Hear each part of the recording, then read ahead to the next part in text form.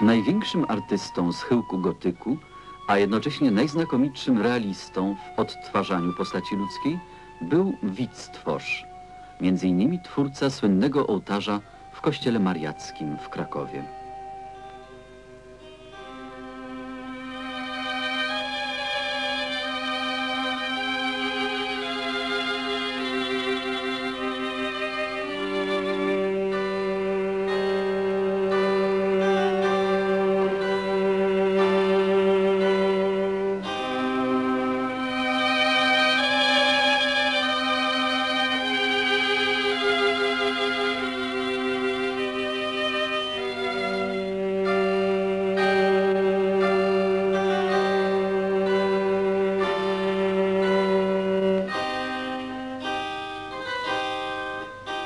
Jego ołtarz i nagrobek króla Kazimierza Jagiellończyka z katedry wawelskiej są przykładami rzeźby ekspresyjnej, gwałtownej i ornamentalnej.